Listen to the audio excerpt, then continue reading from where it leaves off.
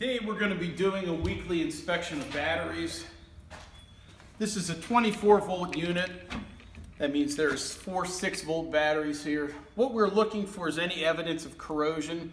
So we want to pull aside every connect, connection here and make sure they're firmly connected and that there's no corrosion. If there is corrosion, you want to take off the nut, clean everything off with the battery terminal cleaner and make sure they're tightly placed back on.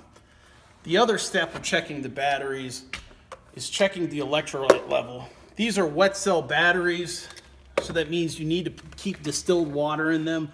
There's a level gauge there and we just want to, you can give it a little shake to make sure, but make sure that the water level is where it's at and especially it's covering the plates in there. If you do not have water, it'll dry out and cause these batteries to be shorted and ruined.